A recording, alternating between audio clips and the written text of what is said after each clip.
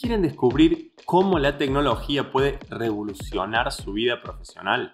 Hoy les presento la GPT Store, un mundo donde ChatGPT no solo es más inteligente, sino que también es su aliado para el éxito. Ya sean jóvenes profesionales o alguien con la ambición de crecer, descubran cómo usar estos GPTs para ganar dinero, ser más eficiente y disfrutar de la vida. He estado experimentando con esta tecnología hace un tiempo ya y en este vídeo les voy a compartir los 10 GPTs que más me han llamado la atención y además compartirles algunos que he creado yo mismo sin saber nada de programación ni de escribir código. Pero empecemos por el principio. ¿Qué es un GPT? Bueno, OpenAI, la empresa que ha creado el famoso chat GPT, unos meses atrás lanzó la posibilidad de que cada persona pueda crear su propio asistente o agente personalizado. Porque, a decir verdad, el chat GPT normal está bien y sabe de todo un poco. Pero mucho mejor es poder crear GPTs específicos, personalizados y enfocados en tareas puntuales. Y claro, también es ideal entrenarlos con información específica para que se comporten como queremos y nos brinden los resultados que buscamos. Eso se puede hacer desde hace unos meses, como mencioné en otro vídeo, pero la novedad es que ahora OpenAI ha lanzado la GPT Store, que es la tienda donde se pueden buscar todos los GPTs públicos que existen al momento. Y una de las mejores cosas es que se llama Store, que significa tienda en español, pero acceder a los GPTs y usarlos es gratis. Vamos a ver los 10 que más me han llamado la atención y después les cuento cómo crear GPTs y cómo ganar dinero con ellos. Número 1. Books. Simplemente escribí que me diera recomendaciones para un nómada digital y creador de contenido de 35 años que quiere mejorar su salud y me recomendó dos libros, Atomic Habits y Digital Minimalism, que ya los leí. Así que le pedí más y me recomendó cuatro libros nuevos. Y de esos dos también ya los había leído y de otro había visto un documental. Así que le pedí más y así fuimos refinando.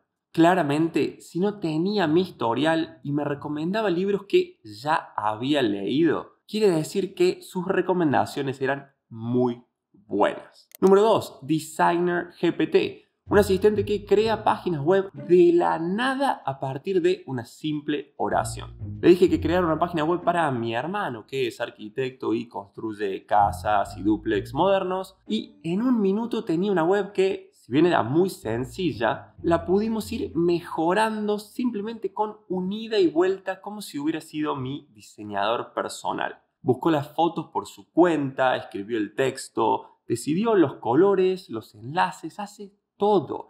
Y hasta me da el código y me muestra una previsualización. Es una verdadera locura. Después usé el Logo Creator, que también estaba en el top 10. Probé a hacerle el logo al estudio de arquitectura y la verdad es que en este caso el resultado fue muy malo, así que no lo recomiendo, aunque también la verdad puede ser que no lo supe usar bien. Le sigue Gliva3 Art Designer. A este solo le pasé unas pocas palabras para ver lo que me hacía y la verdad me sorprendió. Le dije, un creador de contenido ganando millones en YouTube, a ver qué se imaginaba. Se supone que iba a hacer cuatro fotos, pero el primer intento hizo una y después me dio una especie de error. Lo puse para que intentara hacerlo de nuevo, hizo tres fotos, ahora mejores, pero volvió a dar error antes de que haga la cuarta.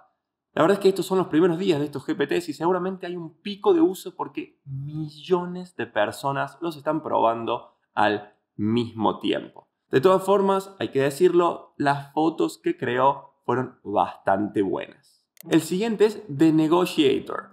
Es muy bueno para ayudarles a negociar lo que quieran ya sea un aumento de sueldo, cómo plantear un aumento de precios a un cliente online, cómo negociar una colaboración con una marca, lo que se les ocurra. La verdad es que es muy bueno porque da consejos muy personalizados. Aquí la clave es siempre hacer un ida y vuelta con el GPT.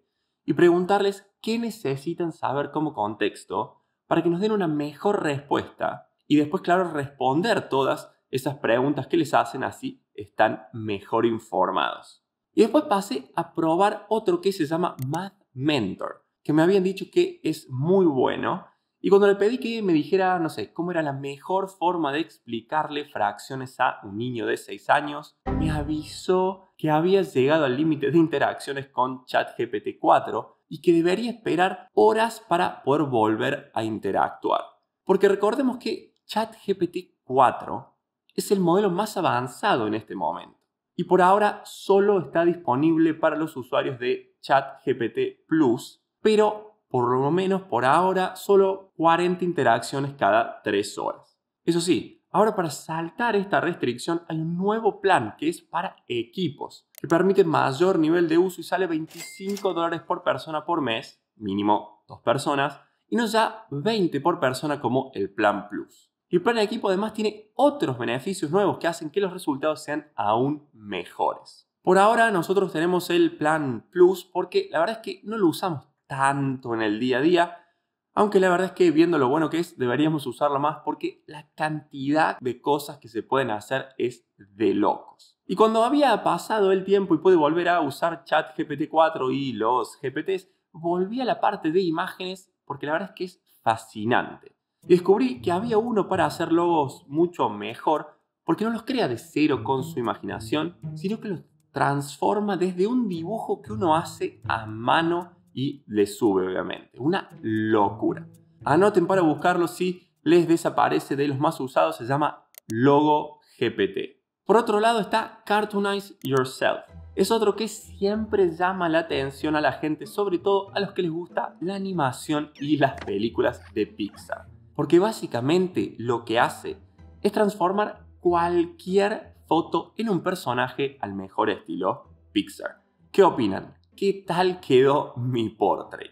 Ahora pasando más a productividad, sobre todo para los que trabajamos online, estamos todo el día en la computadora y sobre todo para los que trabajamos en la industria creativa con muchos archivos diferentes, de diferentes tipos, imágenes, vídeos, etc. Una herramienta genial es Convert Anything. Un GPT, como lo dice su nombre, para convertir cualquier archivo a cualquier otro formato. Yo he literalmente pagado por softwares para hacer estas cosas y por lo general uso páginas gratuitas de dudoso nivel de seguridad para subir archivos que a veces son valiosos. Ahora usaré este GPT OpenAI for the win. Y cambiando rotundamente de tema, pero volviendo al ejemplo número uno de un joven que quiere ser más saludable. Un GPT que me llamó la atención fue Healthy Chef, un asistente de cocina al que uno le puede decir los ingredientes que tiene y te va a sugerir recetas sanas, te va a indicar cómo prepararlas en detalle. Y no solo eso, sino que te va a mostrar fotos del plato terminado. Nada mal. Ah, y te va a compartir todos los detalles nutricionales de lo que vas a comer. De verdad es un espectáculo.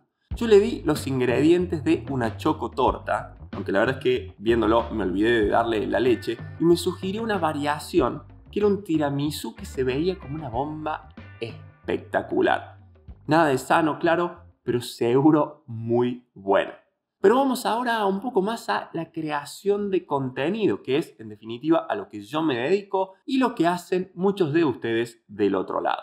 Para los bloggers que tanto se quejan del SEO y de cómo Google cambia las cosas todo el tiempo, ¿qué tal les parece un GPT que escribe artículos de más de 1500 palabras optimizados, únicos y sin plagio, con título, preguntas frecuentes, metadescripción, conclusión, todo listo? La verdad es que hay muchas herramientas hoy en día que ofrecen cosas similares cosas que estuvimos discutiendo recientemente en nuestra comunidad privada para creadores de contenido y claramente hay que decirlo por ahora, hay mejores opciones que este GPT. Pero bueno, este es gratis. Creo que vale la pena probarlo, al menos para ver si les sirve de algo, porque claro, nunca se sabe. Después de todo, siempre se necesita el componente humano si de verdad quieren posicionar en los primeros resultados de Google a mediano plazo. Pero vamos mejor a ver qué hay para YouTube. Y para eso vamos al buscador porque si bien OpenAI nos muestra los que ellos piensan que son buenos o los que están en tendencia, lo mejor es poder usar el buscador para encontrar nuevos y poder probarlos. Y si buscamos simplemente YouTube, nos aparecen un montón, enfocados en diferentes cosas como transcribir vídeos, resúmenes de vídeos, ayuda con la creación de miniaturas y varias cosas más. Yo estuve probando el que se llama Thumbnail Expert y la verdad que es bastante mejor de lo que creía hace de todo un poco. Ayuda a crear miniaturas teniendo en cuenta el tema del vídeo y hace un montón de preguntas para crear una miniatura lo más cercana posible a lo que estamos buscando, pero claro, agregando ideas nuevas basadas en mejores prácticas. Y no solo eso, sino que además revisa miniaturas y da consejos sobre cómo mejorarlas. Y esta tiene la opción de cambiar y poner su cara en la miniatura que originalmente era de otra.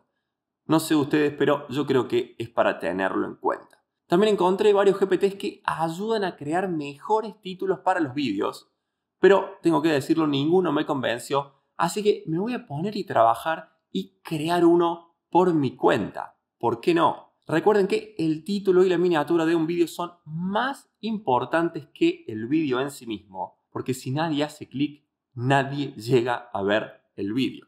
Y otra cosa que es muy importante para que un vídeo funcione bien en YouTube es la intro, los primeros segundos del vídeo. Y para eso ya tengo creado mi propio GPT que de hecho utilicé para crear la intro de este vídeo y para otros vídeos en el pasado. No es perfecto, claro, pero constantemente va mejorando. Y ya lo he compartido con los creadores de contenido de nuestra comunidad privada y he recibido un montón de feedback para seguir mejorando los resultados. Porque de eso se trata, de ir mejorando continuamente y en equipo. Mi idea es tener como mínimo 4 GPTs para youtubers. Uno para miniaturas, uno para títulos, el que ya tengo para las intros e idealmente uno para la estructura general del vídeo que incluya todas las mejores prácticas para vídeos con contenido educativo. Mayor porcentaje de clics y mayor retención es igual a más visitas. Pero claro, el objetivo aquí no es simplemente ser más productivo para alcanzar un resultado o un objetivo vanidoso como suscriptores o visitas.